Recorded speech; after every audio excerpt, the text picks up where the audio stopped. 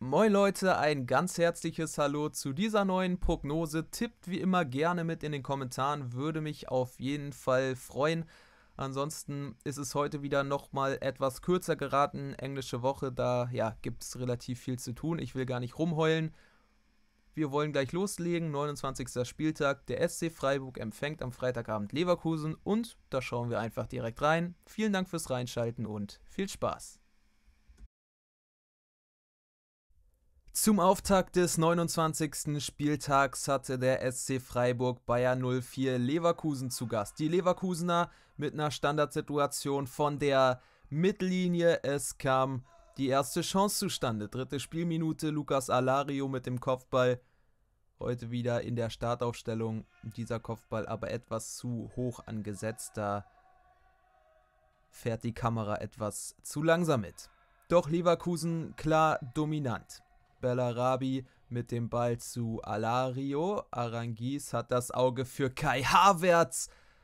Der zieht ab aus 16 Metern und kann nach der enttäuschenden 1 zu 4 Pleite gegen Wolfsburg erstmal wieder Besänftigung bringen bei Bayer 04. Die Breisgauer brauchten, um ins Spiel zu finden. Wir sind schon in der Schlussphase des ersten Durchgangs. Das ist Quon, schöner Querpass. Lukas Höhler aus kurzer Distanz hält noch den Fuß hin. Vorbei an Lukas Radetzky. Das 1 zu 1 nach 45 Minuten etwas glücklich für den SC Freiburg. Viel hatten sie bis zum Treffer nicht aufs Feld gebracht. Im zweiten Durchgang dann wiederum Leverkusen mit dem besseren Beginn. Bellarabi zieht in den Strafraum ein mit der Flanke auf den zweiten Pfosten. Die muss Julian Baumgartlinger verwandeln. Ist kein Torjäger, hat getroffen gegen den VfL. Hier setzt er den Kopfball aus kürzester Distanz tatsächlich noch am Pfosten vorbei. Und der SC Freiburg Jetzt waren sie wacher. Langer Ball über die rechte Seite. Quon wieder sehr auffällig. Zieht den Ball einmal zurück. Auf dem Elfmeterpunkt stiehlt Nils Petersen sich davon und macht das Ding rein. 55. Minute. Die Partie war gedreht und Leverkusen hatte daran zu knabbern. Sehr, sehr lange. Wir springen in die 90. Minute. Kommen sie nochmal zurück. Weiser und Bellarabi über die rechte Seite. Vielleicht nochmal ein schneller Flankenlauf. Das dauert alles lange. Mitchell Weiser. Diese Flanke dann aber abgeglitscht ins Nichts hinein. Es kam nicht mehr von Bayer 04 Leverkusen. Freiburg zeigt Moral. Nach dem 3 zu 3 gegen Frankfurt gewinnen sie mal wieder hier mit 2 zu 1. Nicht unverdient gegen Leverkusen. Es war vom VfL Wolfsburg eine Demonstration gegen die so formstarken Leverkusener. 4 zu 1 Gewinn ist nicht verkehrt. Aus Glasner Sicht, Frankfurt kämpfte sich zum 3 zu 3 gegen Freiburg, trotzdem wäre mehr drin gewesen für die Elf von Adi Hütter. Hier Frankfurt spielbestimmend. Wolfsburg sehr passiv. Das ist Kermada, der hat sein erstes Bundesligator geschossen am vergangenen Spieltag, eben gegen den SC Freiburg. Jetzt legt er gleich nach, da der Knoten möglicherweise geplatzt. Der VfL fand im ersten Durchgang tatsächlich kaum statt. Wieder Frankfurt, kurz vor dem Seitenwechsel. Nächster Abschluss. André Silva, sehr gute Möglichkeit. Den kann man gut und gerne im Kasten mal unterbringen. Castells aber aufmerksam. Das 0 zu 1 absolut verdient hier am Samstagnachmittag in der Volkswagen Arena. Die Wölfe mussten sich langsam was einfallen lassen. Die Partie plätscherte etwas dahin, Frankfurt wieder mit dem nächsten Nadelstich.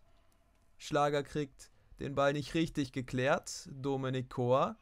Gacinovic, wieder Kor, Kopfball Silva. Links vorbei, doch sie machten immer wieder gefährliche Szenen sich zu eigen. Der VfL Wolfsburg jetzt vielleicht mal. Und wie? Eine Flanke von rechts, die länger und länger wird, runterfällt. Perfekt für Xaver Schlager, der Österreicher. Mit dem schönen Treffer. Jetzt hatte der VfL wie aus dem Nichts Oberwasser. Joao Victor setzt noch einen drauf. Wolfsburg dreht in der Schlussphase diese Partie und Frankfurt weiß nicht, wie das geschehen konnte. Es bleibt beim 2 zu 1. Sehr, sehr schmeichelhaft für den VfL, aber wieder mal eine schlechte Chancenverwertung bei Frankfurt kostet hier die Punkte. Sieben Punkte aus drei Spielen. Das die Bilanz von Bruno Labbadia beim FC Augsburg.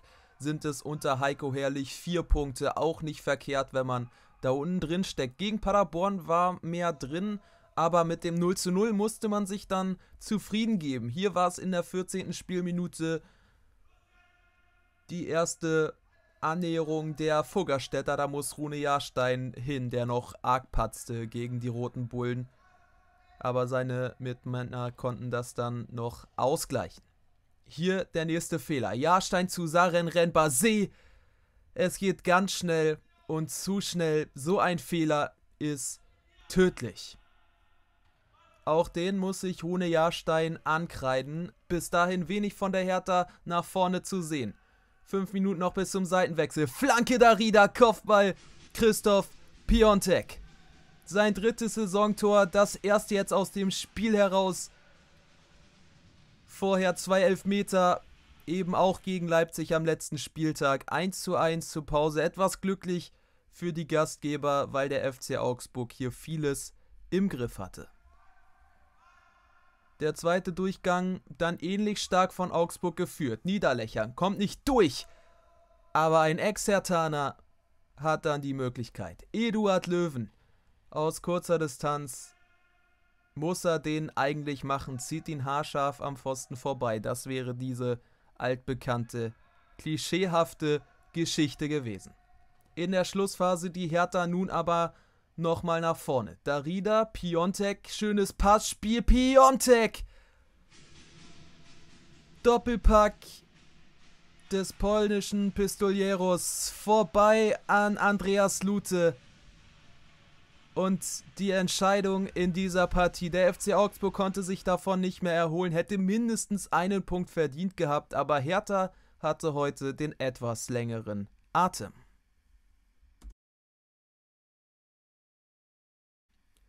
Der erste FSV Mainz 05 schaffte es nicht in Überzahl, drei Punkte aus Berlin mitzunehmen. Gegen Union war es am Ende ein eher enttäuschendes 1:1. Hoffenheim konnte wieder gewinnen. Das erste Mal nach der Corona-Pause mit 3:1 gegen Köln. Es war eine spektakuläre Partie hier in der Anfangsphase. Die Sinsheimer gleich mal gefährlich in Person von Munas Dabur, der an Müller scheitert der Keeper sah beim 1:1 gegen Union Berlin nicht richtig glücklich aus. Noch in der Anfangsphase, Brümer, Baku, Brümer bringt sich da selbst in Bedrängnis. Brün lassen, Lux den Ball ab, spielt rüber zu Dabur. Das 1 zu 0. Sehr vermeidbar. Für die Mainzer hagelte es beim letzten Heimspiel gegen Leipzig eine saftige 0 zu 5 Packung. Diesmal ging sie aber nicht so unter. Sie spielten jetzt zielstrebiger nach vorne. Boetius testet nach 22 Minuten Oliver Baumann die beste Szene noch im ersten Durchgang vom ersten FSV. Dann ging es in die Pause. 0 zu 1 ging absolut in Ordnung. Hoffenheim war die bessere Mannschaft, musste jetzt zum Schluss aufpassen, aber nicht die Mainzer zu stark werden zulassen. Über eine Stunde jetzt gespielt, die TSG wieder auf dem Weg nach vorne. Samesuku Dabur. Und das muss der Treffer sein. 63. Spielminute. Munas Dabur bekommt hier den Ball. Doch Müller kratzt den herausragend noch aus dem Eck. Das war eine richtig gute Parade. Die Mainzer zeigten nicht viel im zweiten Durchgang. Defensive Stabilität, wenige Akzente nach vorne. Doch da waren sie einmal und schlagen zu. Pierre Kunde sein viertes Saisontor in der 78. Spielminute gleichen die Gäste aus und machen einen Punkt hinter diese Partie. Hoffenheim konnte die drei Punkte, die verdient gewesen wären, nicht mitnehmen weil sie es verpasst haben, vorzeitig die Entscheidung zu erzielen.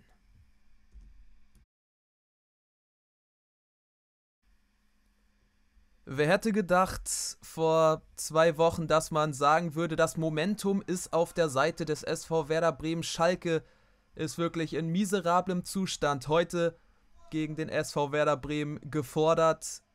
David Wagner steht nicht nur mehr als ein bisschen in der Kritik. Jetzt aber waren sie angehalten, die Königsblau ein bisschen mehr vom Spiel zu haben. Gegen Düsseldorf ging man teilweise mit 25 Prozent Ballbesitz unter. Der SV Werder Bremen hier auf defensive Stabilität konzentriert. Kleine Nadelstiche sollen es dann richten. Das 0 zu 0 gegen Gladbach sehr gut geführt. Jetzt konnten sie auch wieder treffen. Leonardo Bittenkurt in der Startaufstellung wieder dabei. Gegen Gladbach fungierte er nur als Joker, strahlt aber auch da direkt wieder Torgefahr aus. Er traf gegen den SC Freiburg beim 1:0 Sieg. Hier bringt er die Werderaner wieder in Führung der FC Schalke 04 in extremer Seenot. Zunächst wurde es auch nicht besser. Werder Bremen jetzt sehr selbstbewusst unterwegs. Rashica vielleicht zu selbstbewusst in dieser Situation. Wirklich gefährlich wird es hier nicht. Aber was ist nur mit Schalke los? Gegen Düsseldorf hat man sogar geführt, verliert trotzdem mit 2 zu 1. Hier liegen sie zurück im eigenen Stadion. Es fällt ihnen nichts ein. Rashica in der 59. Minute verpasst hier mit dem 0 zu 2 schon die Vorentscheidung. Und tatsächlich sollte von Schalke nichts mehr kommen. Die Partie trudelte aus. Zwei Minuten Nachspielzeit, nochmal die Möglichkeit für Bremen zu erhöhen. Klaassen kommt hier gegen Bogelab, aber nicht durch. Die Szene wird dann bereinigt. Aber es kam keine Tormöglichkeit mehr zustande. Werder Bremen holt aus den letzten drei Spielen sieben Punkte. Das ist bitter notwendig, aber gibt auch Hoffnung definitiv im Kampf um Platz 16. Der Sieg von Fortuna Düsseldorf war unabdingbar gegen den FC Schalke 04, denn es lauert noch ein hartes Programm auf die Fortunen in den folgenden Wochen, unter anderem jetzt zu Gast beim FC Bayern, der die Meisterschaft wohl verteidigen wird gegen Dortmund. Das 1 zu 0 war die Entscheidung. Und hier ist mal ein anderer im Fokus. Kimmich zwar mit dem sehr starken Eckball, aber den Kopfball setzt Lucas Hernandez, der Franzose, seit langem mal wieder in der Startaufstellung, köpft das 1 zu 0 in der Frühphase. Boateng heute nur auf der Bank. Die Bayern gegen Düsseldorf aber klar überlegen, klar spielbestimmt, das ist keine Frage. Dann auch eisig kalt vom Tor. Goretzka kann da viel zu frei agieren, spielt dann den Querpass durch den 5-Meter-Raum sieht Kastenmeier auch etwas unglücklich aus, aber seine Verteidigung hat er auch nicht viel Druck ausüben können. Jetzt wurde es undenkbar schwer für Fortuna Düsseldorf. Man hat hier zwar einst ein spektakuläres 3 zu 3 geholt, da lag man auch mit zwei Toren zurück. Aber das waren gefühlt noch andere Zeiten. Die Bayern zu stark aktuell. Goretzka, Gnabry, Lewandowski 3 zu 0 und in der 45. Minute musste Düsseldorf jetzt aufpassen, dass es hier nicht völlig vor die Hunde geht. Das Torverhältnis spielt ja im Abstiegskampf immer eine Rolle. Aber sie kam noch einmal vor den Kasten. Dritte Minute der Nachspielzeit. 3 zu 1. Kenan Karaman er erzielte das 2 zu 1 gegen den FC Schalke 04 und zeigt hier, dass er vor Manuel Neuer keine Angst hat. 3 zu 1 trotzdem noch ein sehr deutliches Resultat. Die Bayern ließen ja auch gegen Frankfurt bei einer 3 zu 0 Führung einiges an Leine, sodass vielleicht Hoffnung aufkeimen konnte für Düsseldorf. Das 3 zu 2 sollte dann schleunigst her. Kevin Stöger zu Matthias Zimmermann, halb Flanke, halb Schuss. Die offensiven Bemühungen waren da, aber nicht so leicht zu bewerkstelligen, weil der FC Bayern jetzt in der Defensive kompakter stand. Wir sind schon in der Schlussphase nochmal eine Möglichkeit. Steven Skripski in der 82. Minute, kein Problem, aber für Neuer. Es blieb beim 3 zu 1. Die Bayern nehmen diese drei Punkte gerne mit. Düsseldorf schlug sich gut, aber war dann im Endeffekt einfach zu harmlos. Borussia Mönchengladbach empfängt am Sonntagnachmittag Union Berlin. Die Fohlen enttäuschen ein wenig in den letzten beiden Partien 0 zu 0 gegen Bremen und man war nicht mal die bessere Mannschaft. Hier mussten sie auch aufpassen. 21. Minute, Jan Sommer mit einem super Reflex war auch der beste Mann bei den Gladbachern unter der Woche, eben beim 0 zu 0 gegen den SV Werder Bremen. Super Parade, der anschließende Eckstoß von der rechten Seite. Trimmel bringt ihn rein. Christian Gentner köpft ihn ins Netz. Nicht zu glauben, Borussia Mönchengladbach gleiten hier die Zügel aus der Hand, haben aber Glück, nur kurze Zeit später einen Strafstoß zu bekommen. Jonas Hofmann wird von Subotic unsanft von den Beinen geholt. Eine vertretbare Entscheidung. Halbe Stunde gespielt. Markus Thüram nimmt sich der Sache an und platzierter kann man den nicht schießen. Setzt den direkt unter die Latte. Bisschen Glück ist dabei, aber so platziert muss man einen Strafstoß erstmal setzen. Die Gladbacher jetzt besser drauf. Leiner zu Markus Thüram. Ball von Gikiewicz gehalten vor die Füße von Hofmann, aber abgewehrt. Der schlägt zu. Jonas Hofmann, das wird ihm auch gut tun. Hatte ja eine sensationelle Fehlleistung erbracht. Kurz nach dem Wiederbeginn der Bundesliga. Aber Union Berlin hatte noch nicht genug. Marius Bülter, Marius Bülter. 2 zu 2. Viertes Tor im ersten Durchgang gleichmäßig verteilt und das ging auch so in Ordnung. Gladbach wurde zwar immer stärker, jetzt waren sie einmal unachtsam und mussten diesen Ausgleichstreffer hinnehmen. Union Berlin sammelt ja auch fleißig Punkte gegen den Abstieg, die sind auch extrem wichtig. Bei Borussia Mönchengladbach würde man auch gerne wieder mal drei Punkte mit nach Hause nehmen bzw. zu Hause lassen. Union Berlin über links, Prömel mit der Flanke, Kopfball, Sebastian Andersson in die Arme von Jan Sommer. Gladbach tat sich hier nach wie vor sehr schwer.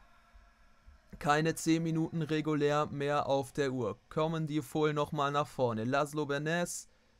Tyram, schöner Pass in die Schnittstelle. Leiner mit der Flanke. Alassane Player am zweiten Pfosten. Köpft das Ding ein. Das 3 zu 2 für Gladbach. Die gleichzeitig entscheidende Aktion. Union Berlin erholte sich nicht mehr. Ein Punkt wäre verdient gewesen, aber sie trafen einmal weniger. Der BVB musste sich 0 zu 1 gegen die Bayern geschlagen geben. Nun will man den zweiten Tabellenplatz manifestieren. Da ist ein Sieg gegen den SC Paderborn Pflicht. Die Paderborner quasi abgestiegen und es war hier ein deutlicher qualitativer Unterschied zu spüren von Beginn an. Brand zu Sancho die Dortmunder mussten auf Holland verzichten, dafür Hazard in der Spitze. Sancho rückt in die Startaufstellung, hat sich gleich mal bezahlt gemacht. Es war sehr dominant von den Borussen. Axel Witzel mit der Hacke zu Brand, Dahut wieder zu Brand, 0 zu 2 in der 24. Viele Chancen hatte Dortmund nicht, aber sie machten sich das in der Hälfte des SC Paderborn gemütlich und spielten ihre Szenen dann locker leicht zu Ende. Für den SC Paderborn ist es tatsächlich nochmal ein besseres Schaulaufen. Dazu sollte man dann aber auch den ein oder anderen Treffer erzielen. Hier ein Abschluss. Birki hält den Ball fest.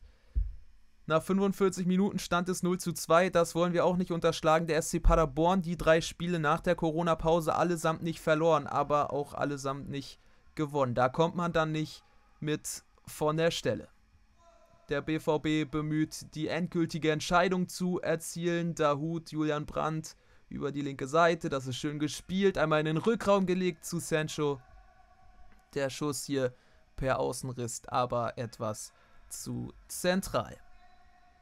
Der SC Paderborn fand sehr wenig statt. Michel luchst jetzt aber Akanji mal den Ball ab. Sven Michel, jetzt macht das besser als noch unter der Woche gegen Andreas Lute. Da vergab er so eine Chance. Jetzt macht er den Ball rein zum 1 zu 2. Aber es war nur noch ein Trostpflaster. Dortmund bringt das Ding über die Linie und festigt damit tatsächlich erstmal Tabellenplatz 2. Der erste FC Köln verlor mit 3 zu 1 gegen Hoffenheim. Eine denkwürdige Partie. Jetzt war Leipzig zu Gast, die Leipziger auch sehr unzufrieden nach dem 2 zu 2 gegen die Hertha. Hier wollten sie Wiedergutmachung betreiben. Christopher Nkunku in der 22. Minute. Es war eine zähe Partie bis dahin. Viel war nach vorne nicht zu sehen. Der erste FC Köln machte das gut in der Defensive, dann nach vorne aber auch mal gefordert, etwas zustande zu bringen. Easy Boué hat den Ball, bleibt lange im Ballbesitz, sieht dann Skiri, Pass zu Cordoba. Super Parade von Gulaschi, trotzdem, das muss in der 40. Spielminute eigentlich das 1 zu 0 sein. Doch der Ungar im Kasten der Leipziger reagiert gut. Der anschließende Eckstoß von der rechten Seite. Hector bringt ihn rein, da ist gut. Der hat auch ganz persönlich wieder etwas gerade zu rücken. Zwei Elfmeter in Folge verschossen. Insbesondere jetzt der gegen Hoffenheim wog schwer, weil man eben keine Punkte mehr mitnehmen konnte. Hier stand es 0 zu 0 nach 45 Minuten. Das ging so in Ordnung. Die Partie nahm so langsam dann an Fahrt auf. Leipzig muss auch aufpassen, denn von hinten drücken Leverkusen und Borussia Mönchengladbach. Das Polster ist aufgebraucht, das man hatte. Als Verfolger vom FC Bayern München kann man sich auch nicht mehr bezeichnen. Es geht tatsächlich jetzt darum, die Champions League Qualifikation klar zu machen. Hier der Abschluss von Timo Werner kurz nach Wiederbeginn aus der Drehung, aber gefährlich ist auch was anderes über eine Stunde gespielt. Leipzig weiterhin besser. Der erste FC Köln war etwas ideenlos nach vorne. Christopher Nkunku liegt zurück. Kevin Campbell scheitert an Timo Horn. Sehr schöne Aktion von Nkunku. Der Schuss dann aber zu unplatziert. Köln hatte aber noch einen und zwar in der Schlussphase. Uth mit dem schönen Ball auf Jakobs der junge Mann alleine vor Gulaschi Jakobs. Aber er versäumt die Möglichkeit hier zum Lucky Punch in der letzten Minute. Und so bleibt es beim Torlosen 0 zu 0. Ist für beide in Ordnung. Der erste FC Köln wird etwas besser damit leben können. Für Leipzig ist es vielleicht sogar etwas zu wenig. Jo, das war's dann auch wieder mit dieser Prognose. Ich hoffe, wie immer, es hat euch gefallen. Lasst doch gerne einen Daumen nach oben und ein Abo da. Ansonsten, bis zum nächsten Mal. Macht's gut und adios.